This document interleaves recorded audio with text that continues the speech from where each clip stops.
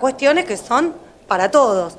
Eh, la inflación es para todos, la falta de salud, la falta de educación. Me venía contando Daniel que acá está golpeando fuerte, lo mal que está funcionando el PAMI. A nosotros también nos pasa en el conurbano, pero a veces en, eh, en las ciudades más chicas el impacto es mayor, porque son todos amigos, porque se reúnen, porque se juntan, se cruzan en el almacén. Y entonces el impacto social es mucho más grande.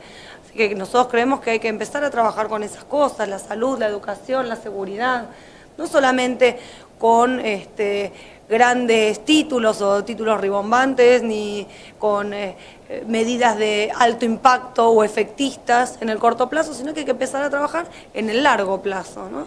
dejar la política del como sí, como digo yo, de como si me importara la salud, como si me importara la seguridad, como si me importara la educación y empezar a trabajar en serio, ¿no? Empezar a trabajar quiere decir sentarse con un equipo que tenga experiencia, con un equipo que haya pasado por la administración del Estado. Nosotros creemos que el Estado es fundamental, es el regulador de los vínculos y las relaciones sociales.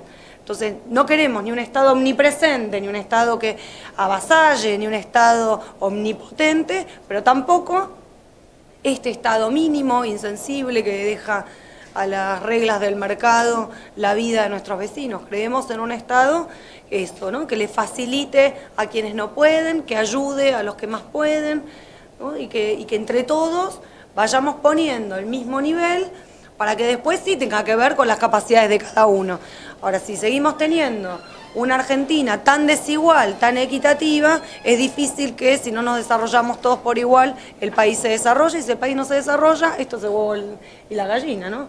Si no se desarrolla la gente, no se desarrolla el país, y entonces nuestra, nuestra comunidad no se puede desarrollar. Esto es lo que nosotros planteamos, un país un país más en serio, más armado, con gente que sepa, con gente que tenga ganas y además que tenga mucho compromiso. Compromiso significa muchas horas trabajando por el bien de los demás, no por el bien propio.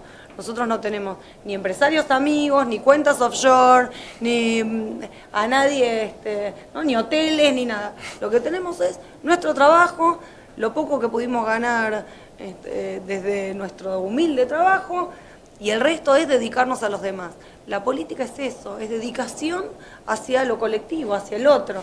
Y en Argentina últimamente se sientan en una mesa a, entre comillas, dialogar o a generar este falso diálogo, pensando más en qué se van a llevar de esa mesa que en qué van a ceder para llegar a acuerdos.